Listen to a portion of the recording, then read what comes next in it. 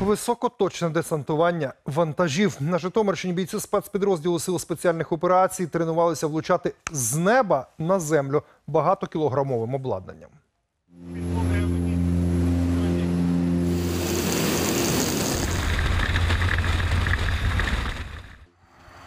Таку вправу наші армійці виконували десятки разів, але щоб усю траєкторію десантування контролювала електроніка, таке було вперше. Сучасні технології дають можливість приземляти вантажі з похибкою не більше ніж у півсотні метрів. Раніше ж обладнання і техніка легко могли загубитися і відлетіти від необхідної точки на десятки кілометрів. Цього разу вантаж доправляв військовий транспортник Ан-26 і до землі під час десантування його супроводжувала група спецпризначенців. Такі тренування і уміння входять до програми обов'язкової підготовки спецзагонів за стандартами НАТО.